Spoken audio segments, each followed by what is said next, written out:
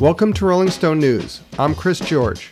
Damon Dash has filed a lawsuit against Jay Z over reasonable doubt streaming rights, as The Hollywood Reporter reports. According to THR, a summons filed on Tuesday in New York Supreme Court claims Jay Z, whose given name is Sean Carter, transferred streaming rights to Reasonable Doubt to S. Carter Enterprises LLC without authorization.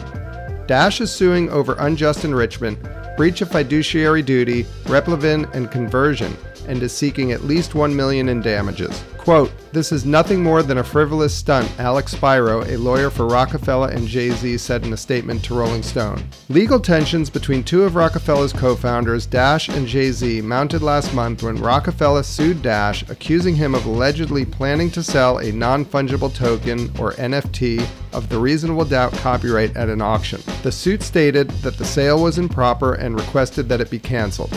Dash told Rolling Stone that the suit was filled with inaccuracies and called the accusations false, claiming he was not trying to sell an NFT of reasonable doubt, but rather his stake in Roc-A-Fella Records after the label supposedly tried to purchase it at a low price. On June 22nd, a judge ruled in favor of the label and prohibited Dash from selling Reasonable Doubt as an NFT.